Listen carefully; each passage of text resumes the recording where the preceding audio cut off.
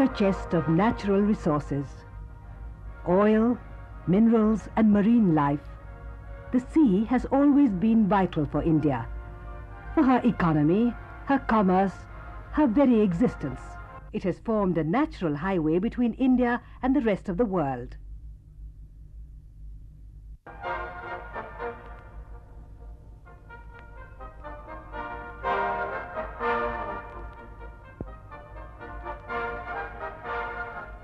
Past, the same highway was used by foreign invaders to conquer India and exploit her for over 200 years.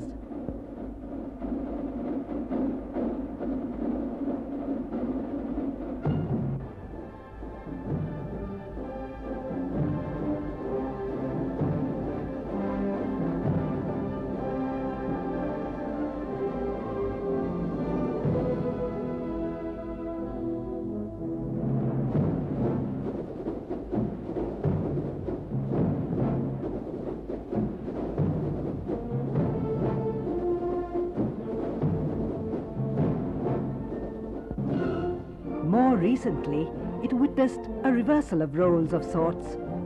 The Indian Navy ships raced over the waves to restore peace and tranquility in the Maldives, a friendly neighbor threatened by marauders.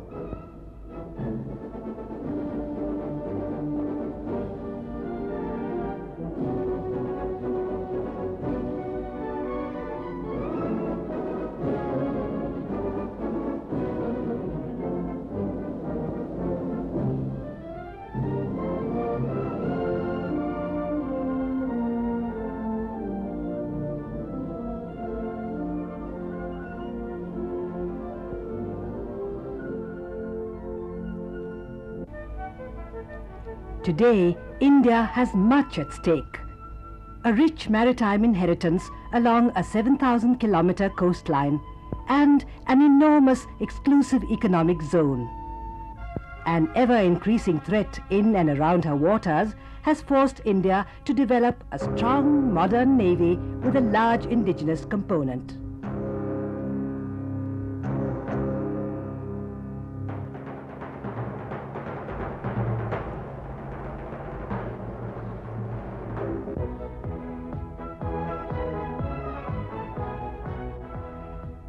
Nineteen forty-seven. An independent India at last. The British left her a paltry naval legacy. Four anti-aircraft frigates, two anti-submarine frigates, and 12 minesweepers. There were no submarines and no aircraft carriers.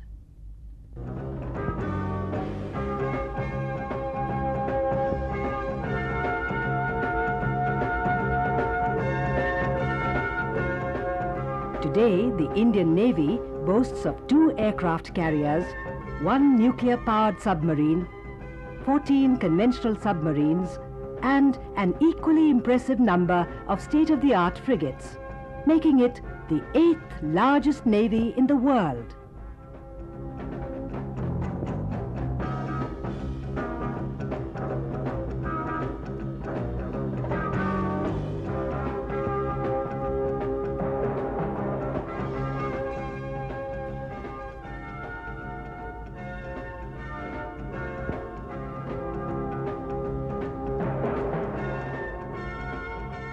Did this modernization and indigenization of the Indian Navy begin?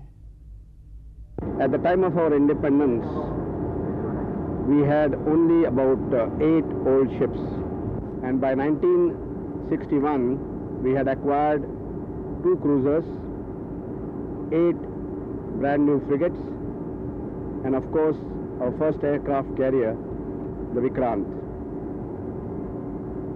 But at the same time, we realized that if we wanted to be a very strong and a self-sufficient navy, we could not rely on imports forever and ever, and we would have to make a, make a start in developing and building ships indigenously. But the real impetus to indigenous construction was given when we acquired the erstwhile British-owned Mazagon Docks Limited in 1962. Soon after that, we entered into a collaboration agreement with two British shipyards for the acquisition of the design and for the construction of the Leander class frigates in India in Mazagon docks.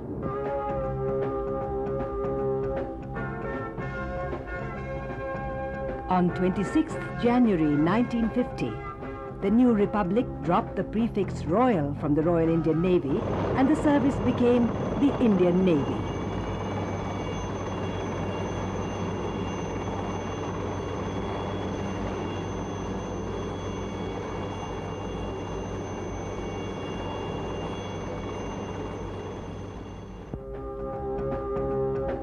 The Indian Navy continued to be headed by a British officer for eight more years, till 22nd April 1958, when Vice Admiral R.D. Katari became the first Indian Chief of Naval Staff, making it a truly Indian service. Even as the Navy was acquiring an Indian character, a second dimension was given to her, a naval air arm. INS Garuda came up at Cochin, and the Fleet Requirement Unit was raised with a squadron of Sealand aircrafts of World War II vintage. The future of the Naval Air Arm was further secured with the commissioning of the former British aircraft carrier HMS Hercules as INS Vikrant into the Indian Navy on the 4th of March 1961.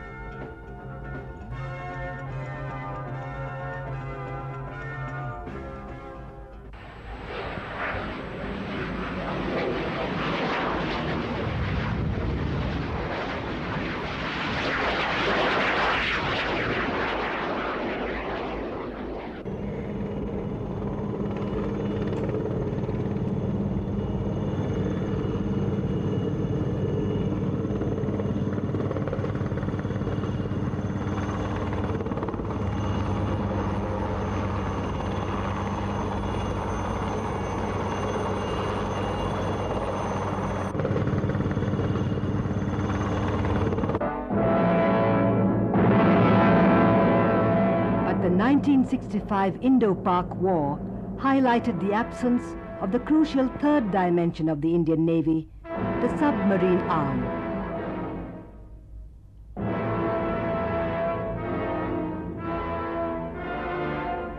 Forays by Pakistani ships into Indian waters were effectively deflected by surface ships.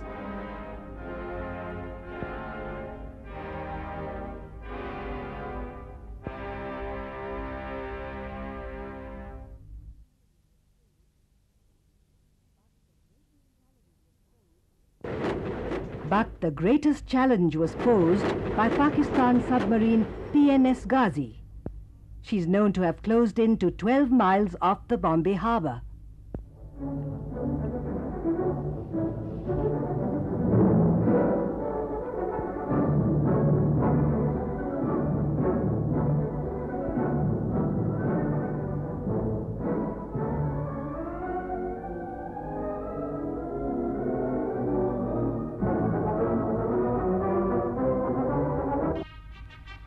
In 1965, India and the USSR signed a package deal for the purchase of a Foxtrot-class submarine squadron, training of personnel in the Soviet Union, and technical assistance in setting up training and shore facilities at Vishakhapatnam. India's first submarine, INS Kalvari, was commissioned on 20th December 1969 to give the Indian Navy a truly three-dimensional character.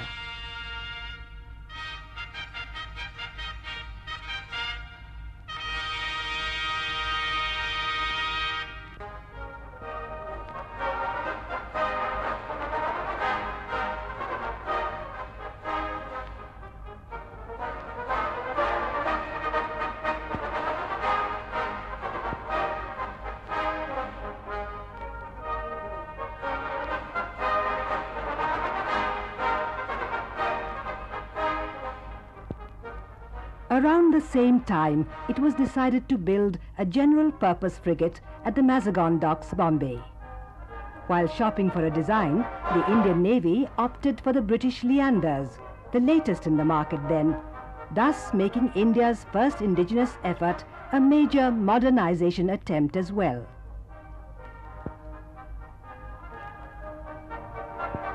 INS Nilgiri, the first of the six Leanders, was launched on 23 October 1968. It took almost four years to build.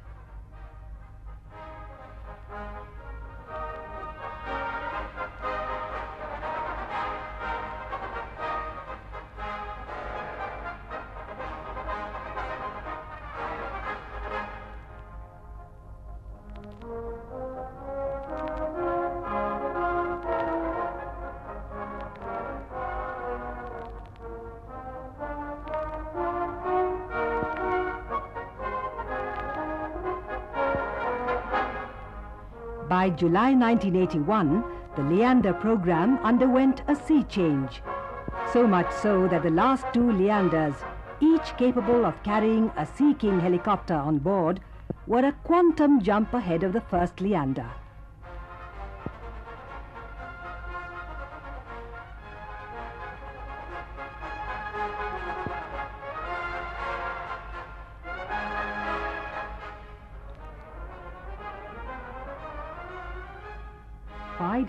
Select a Leander design instead of creating an Indian one?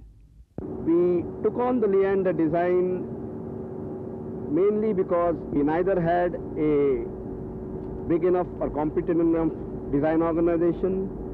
Our shipbuilding yards were not geared up to constructing sophisticated warship and of course we did not have the infrastructure. So we uh, decided first of all to import the design,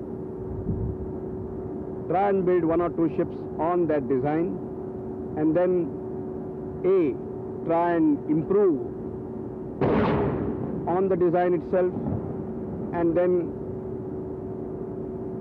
to see if we can substitute the imported equipment, machinery with indigenous one.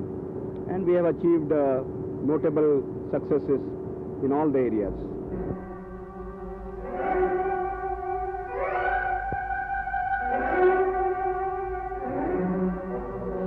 Even as the Leander program was gathering momentum, the 1971 war broke out.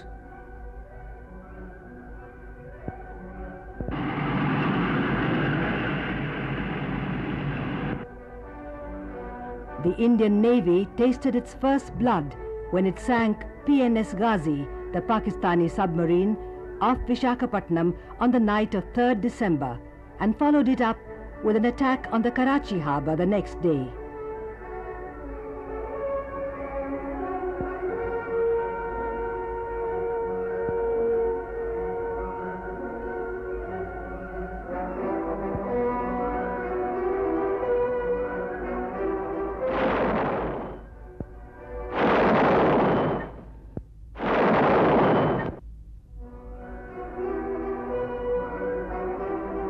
Successful and devastating was this attack by her OSA-class missiles and a large task force that ever since then, the day, 4th December, is observed as Navy Day.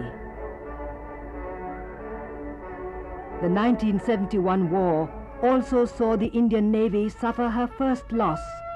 INS Kukri was sunk by a Pakistani submarine. The same war also saw the first shadow of superpower intervention in the region, with the US 7th Fleet entering the Bay of Bengal. The fleet was headed by USS Enterprise, a nuclear-powered aircraft carrier. What crucial lessons did we learn from these two wars?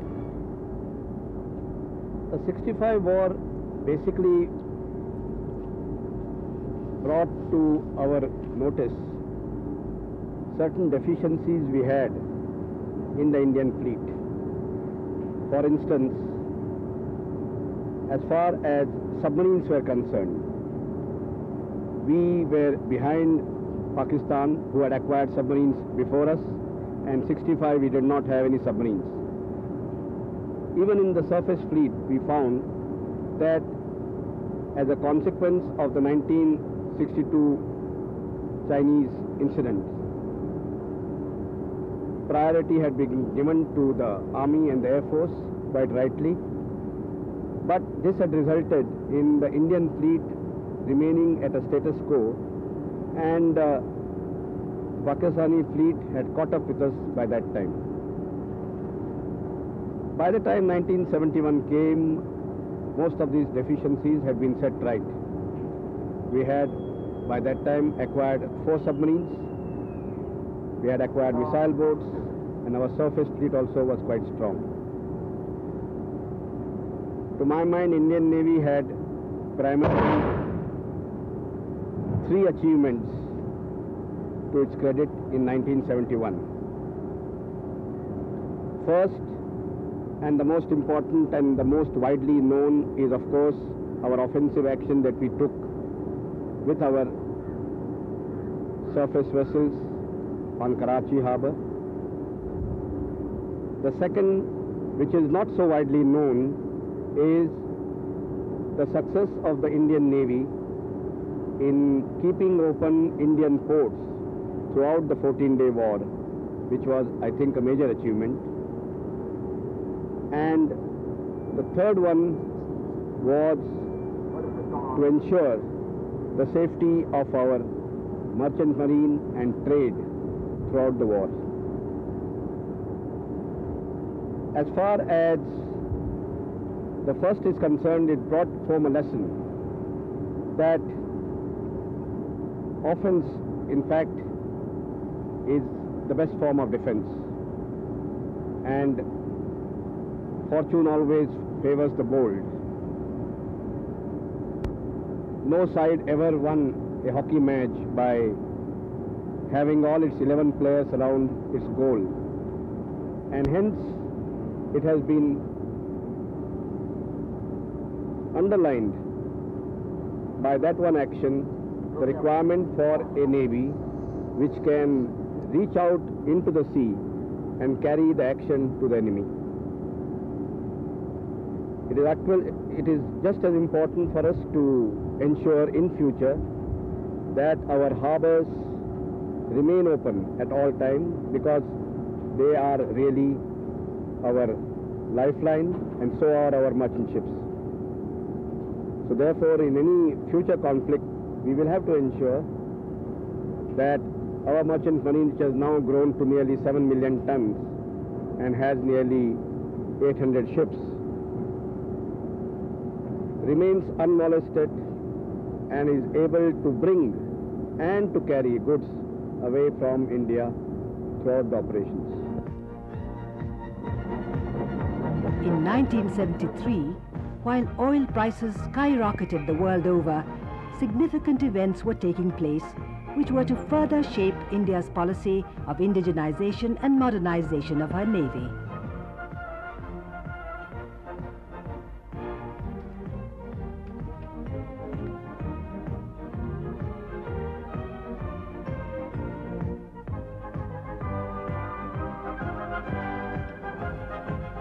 India's Sagar Samrat, the ONGC rig, struck oil in Bombay High off the Bombay coast in the Arabian Sea. Soon this area was to become the oil bowl of the country.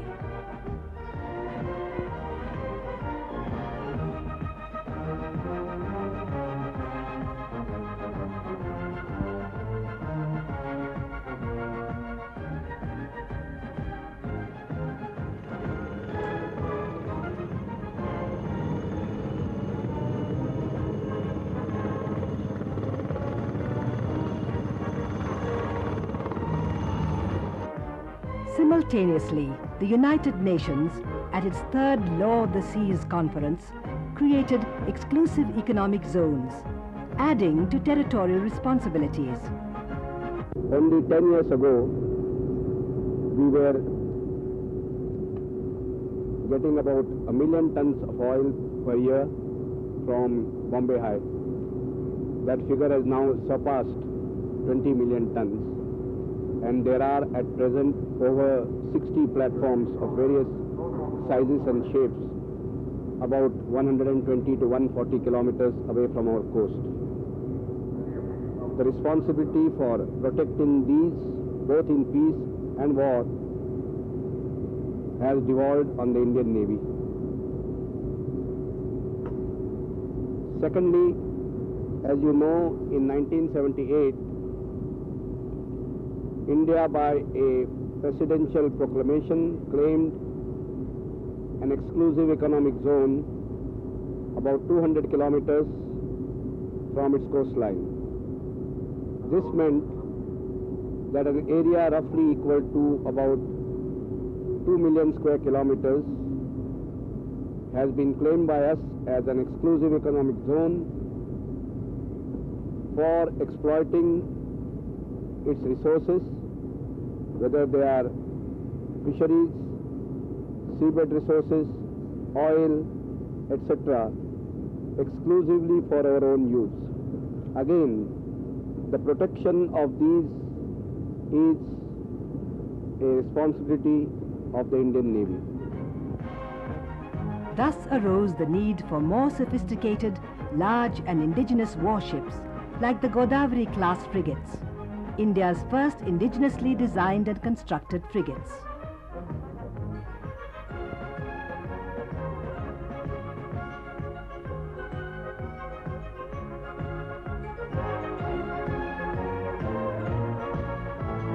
One of the lessons of the 1971 war was it was for the second time only that surface to surface missiles were used in a war.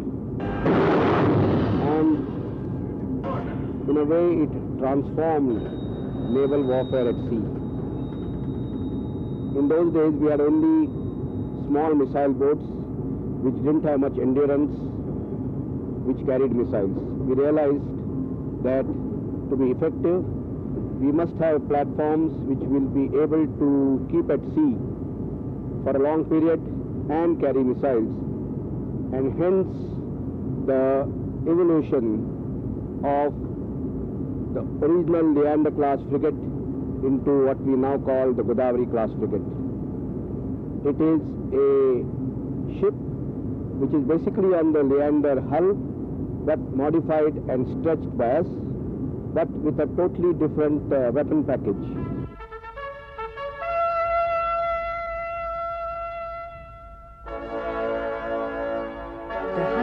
125 meter long Godavari frigate is basically a stretched and broad beamed offshoot of the Leanders. It is the only ship of its size in the world which can carry two large Sea King helicopters on board. Equipped with Soviet missiles, Italian anti-submarine torpedoes, guns and radars also from the Soviet Union, and Indian and Dutch command control systems, the Godavari is probably the most international ship in the world.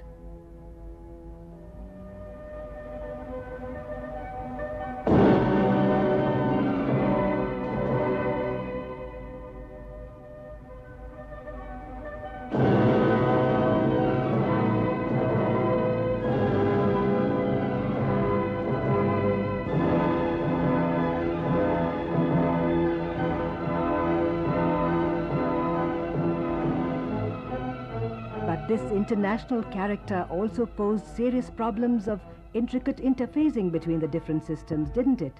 How were they overcome? It is not very easy when we have equipment from the west and the east, and a number of countries, to match them and to interface them. We have had to set up special teams, and they have done a commendable job in ensuring that all the weapon systems, the radars, the computers, the electronics are all matched and interfaced. And we have successfully carried this exercise out. With this experience behind us, we see no problem in future construction in being able to interface diverse equipment. The first Godavari class frigate, launched on 15th May 1983, was commissioned as INS Godavari on 10th December the same year. The ensuing period, however, saw a rapid deterioration of the environment in the Indian Ocean. acquisition of new bases by superpowers, frequent movement of foreign warships in the area, and rapid modernization of naval fleets of our neighbors, which included the acquisition of harpoon missiles and other destructive weapons.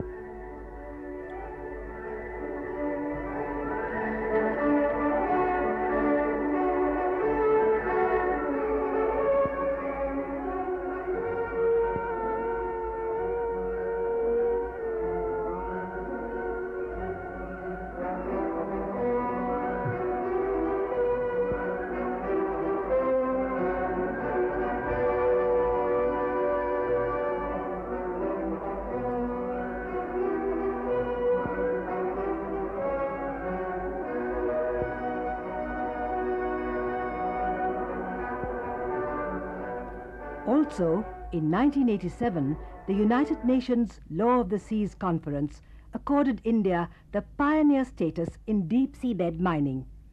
An area of 1,50,000 square kilometers was allotted to her in the Indian Ocean for the purpose.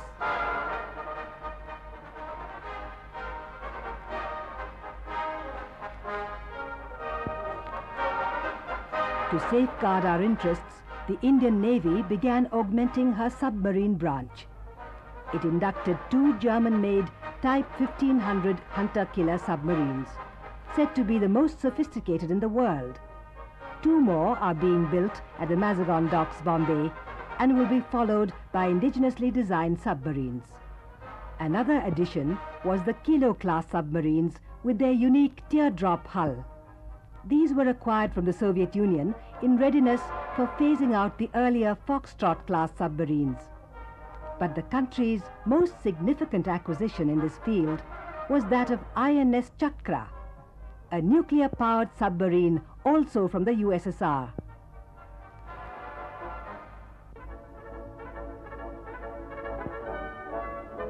The surface fleet was further modernized with the induction of Soviet-built Kashin-class destroyers, the Durgs, and the Veer class of missile boats.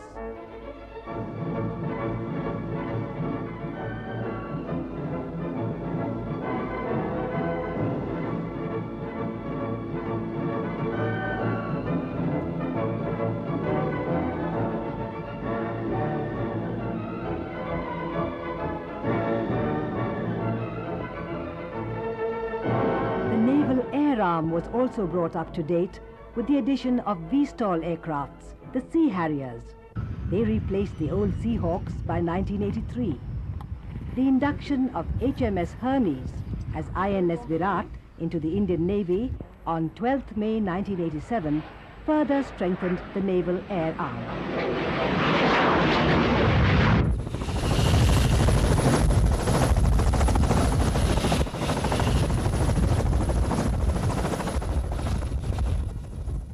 Shortly before this, the old reliable INS Vikrant, India's first aircraft carrier, went in for a major refit and modernization at the Navy's own dockyard in Bombay.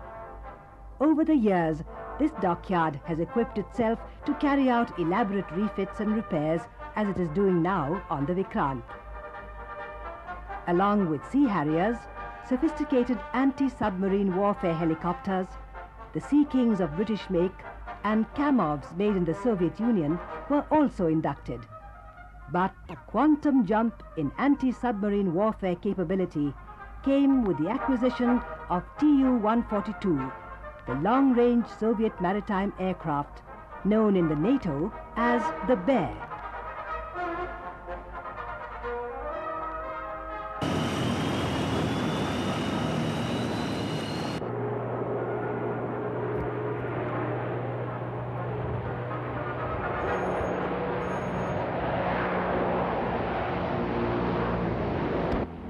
This new state-of-the-art equipment needed equally well-trained officers and men, hence such sophisticated simulators.